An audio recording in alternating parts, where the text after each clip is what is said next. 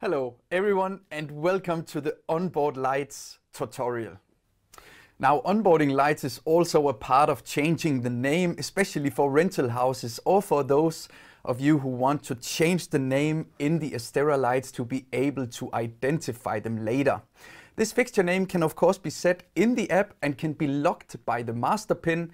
And what you see here on the right side is also fixture number which can be set on the lights for a specific job to match what you have in your lighting console. If you want to know more about fixture number, then find fixture number tutorial. So what is the master pin exactly? The master pin is something we set in each one of the lights.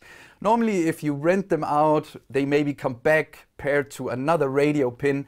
Then we can do a master reset. Once we have set the master pin, then we can reset and pair in one step through the app. Also means that we do not need to blue mode all the lights individually, which also takes quite some time when you get back the lights. Once the master pin also is set, we also have the option to lock the fixture name into the fixture.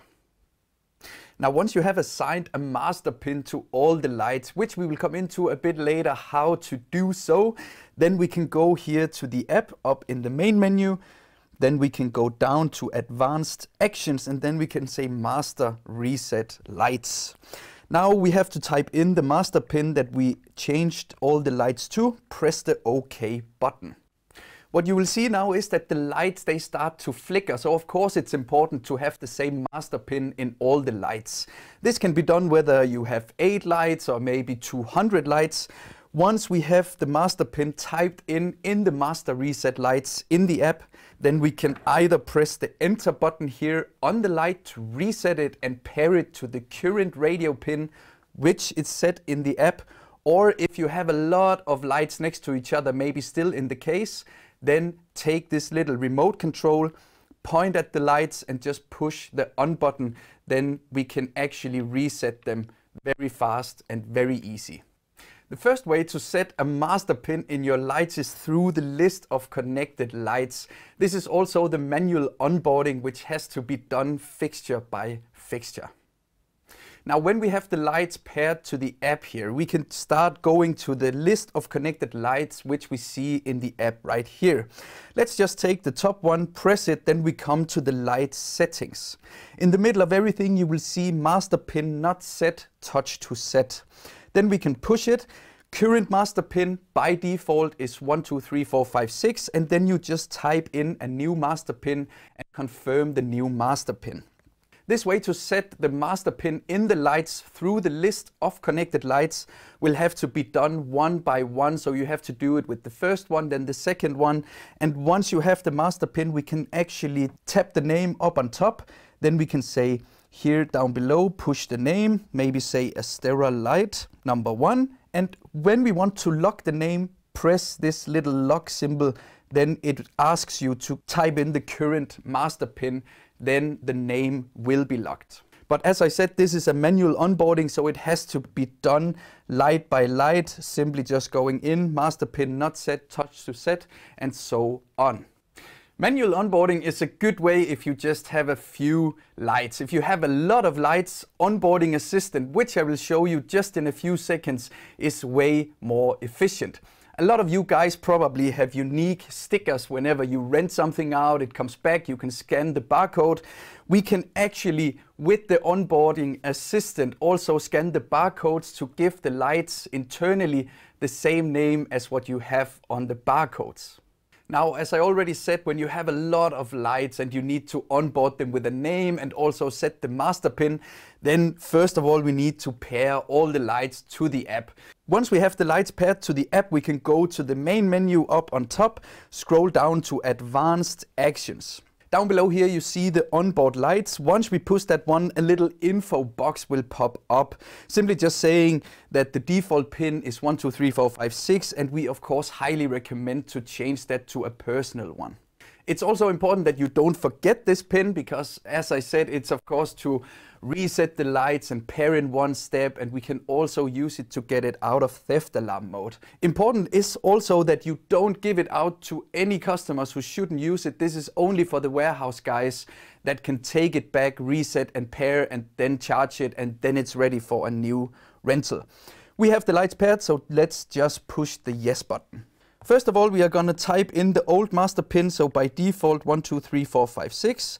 The new master pin, let me just choose 111333, confirming the master pin 111333. This is of course the master pin we are going to set into the light which is currently paired to the app.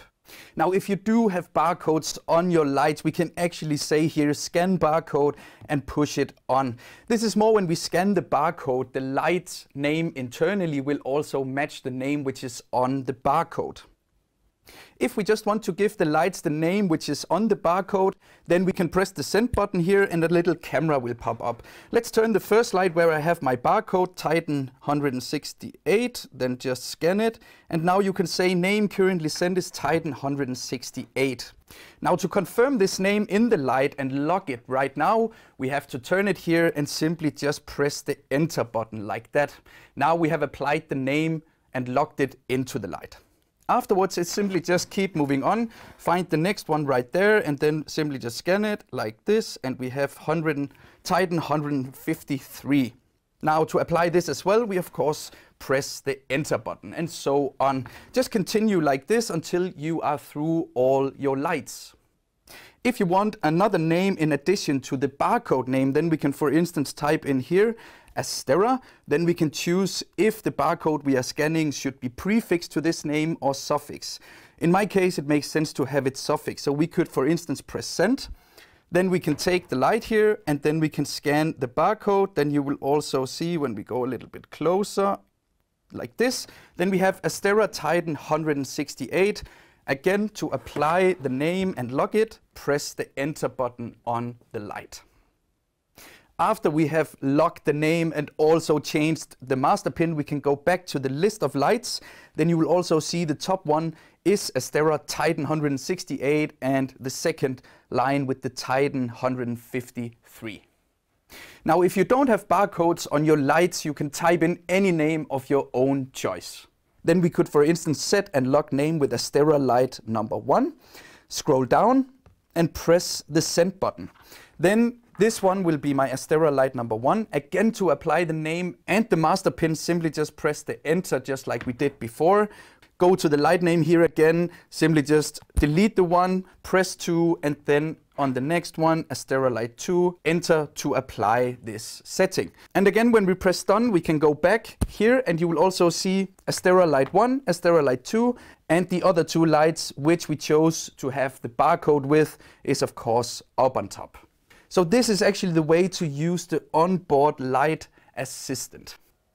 Now it is recommended to set this master pin on all the lights you just received, maybe a set of eight or maybe a bunch of Astera lights. As I said before, we can, when we have set the master pin in each one of the lights, even the manual onboarding or with the onboarding assistant, we can do a master reset so it's easier to take back in the warehouse. Also, if somebody changes the radio pin, have the theft alarm on, the master reset is also the way to get the lights out of the permanent theft alarm. The master reset, which I just went through very shortly at the beginning, is based here in the main menu. When we go down to advanced actions, we can go to master reset lights. Of course, again, it is important, guys, that you have the same master pin on all the lights you are getting into your warehouse because then the whole process is made easy. We just changed these four lights, which we had on the table to the same master pin 111333. So this is what we are gonna type in right here. All the lights with the same master pin will start to flicker just as you see here. So again, we can either confirm by clicking the enter button to reset the light or we can take the remote control just in case we have a lot of sets standing next to each other. Point it and push the power on button. Then we can also reset and pair the lights in just one step. This same procedure goes for if the lights is in a permanent theft alarm, nobody knows the radio pin, you have no control.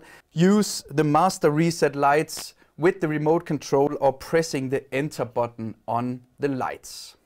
So that was everything about onboarding lights when you get some new Astera lights, both the manual way but also the onboarding assistant. Thank you for watching.